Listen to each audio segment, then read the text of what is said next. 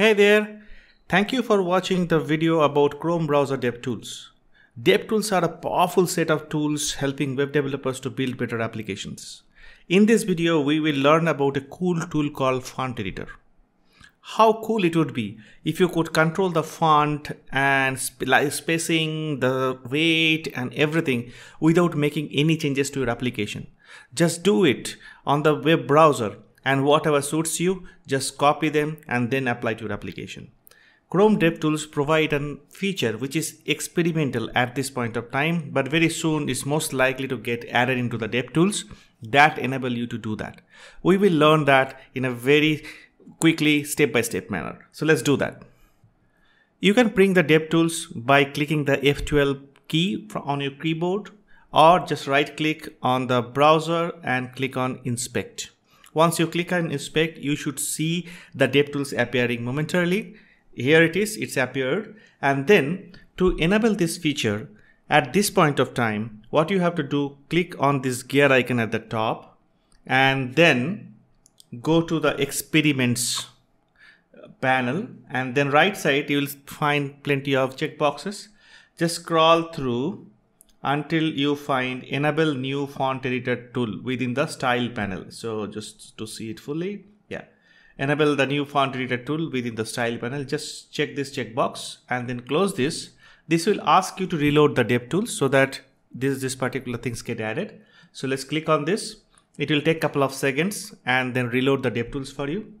Now the DevTools has reloaded.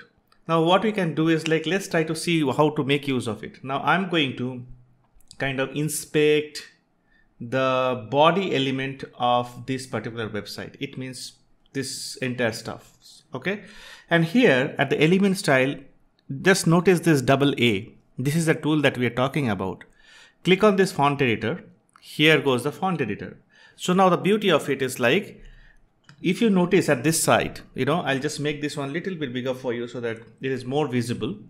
Now, if I change the font families from here, so there are a bunch of font family. Let's change to say Tahoma. Just you know, observe the changes. See, the font has changed. I can probably change it to something else. Maybe this one.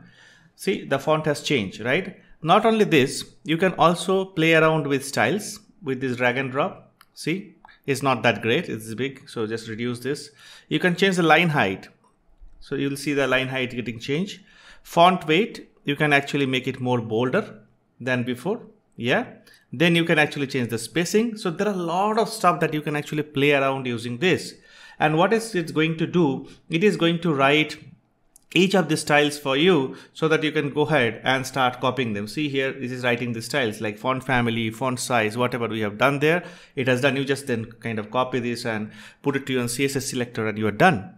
So this is a great, great tool, very handy tool for you to kind of experiment with fonts and then figure out like whatever suits you and then go ahead is you go ahead and use it.